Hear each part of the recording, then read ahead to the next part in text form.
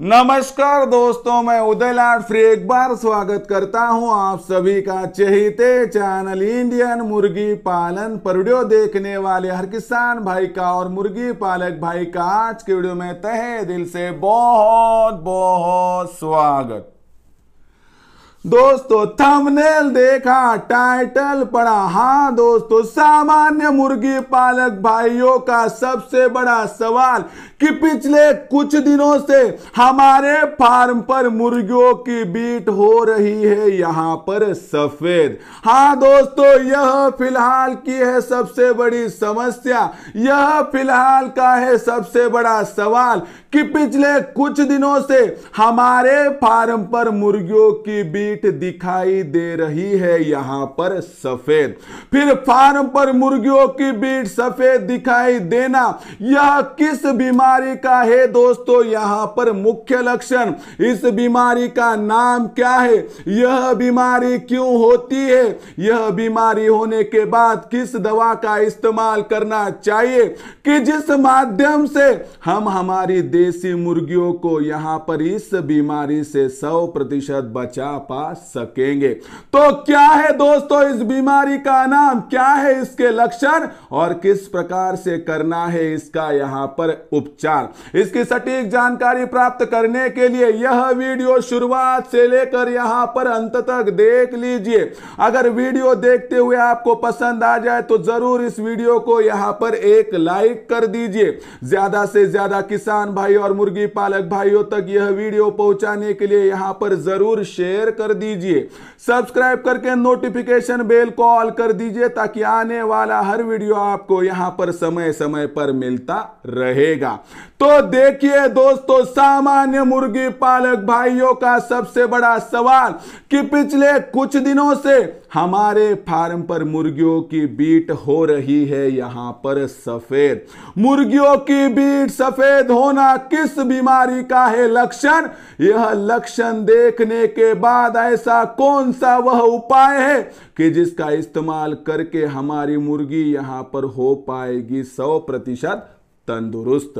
तो देखिए दोस्तों, इस बीमारी का नाम है सी आर डी यानी क्रॉनिक रिस्पिरेटरी डिसीज यह बीमारी सांस नलिका से संलग्न थे दोस्तों। यह बीमारी बैक्टीरियल इन्फेक्शन से होती है, लेकिन बीमारी तो आ चुकी है तो तुरंत लक्षण जान लेते हैं। तो लक्षण नंबर एक, अगर आपकी मुर्गियों की बीट सफ़ेद हो तो यह सीआरडी का लक्षण है। नंबर दो, अगर आपकी मुर्गी ऊपर देख के सांस ले रही है तो ये सीआरडी का लक्षण है।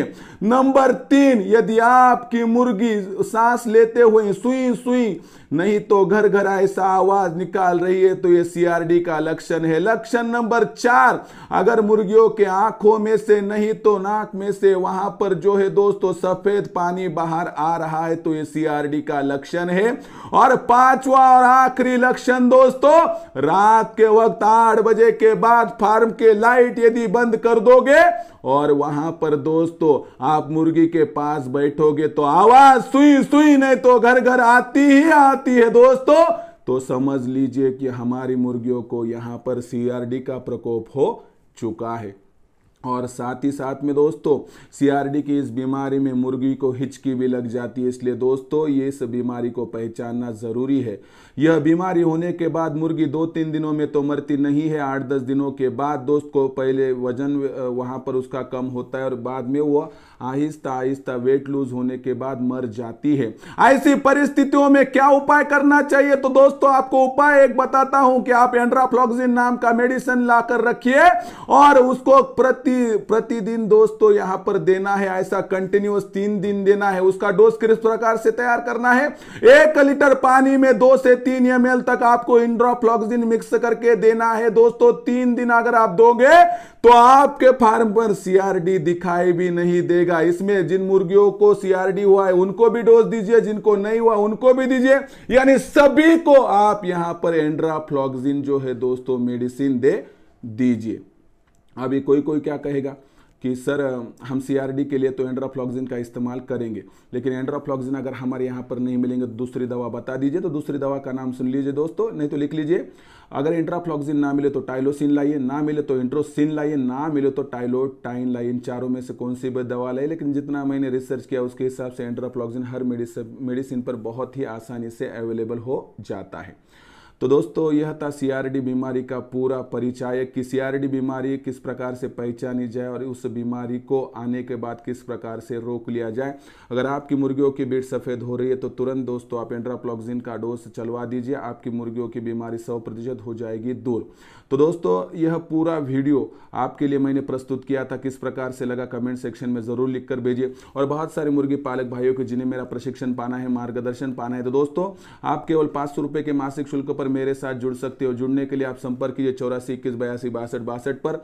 आपको उत्पादन से लेकर बिक्री तक पूरी सहायता की जाएगी और आप अगर मेरे साथ जुड़ जाओगे तो दुनिया की कोई भी ताकत आपको इस व्यवसाय के माध्यम से लाखों लाखों का मुनाफा प्राप्त करने से वंचित कर नहीं पाएगी।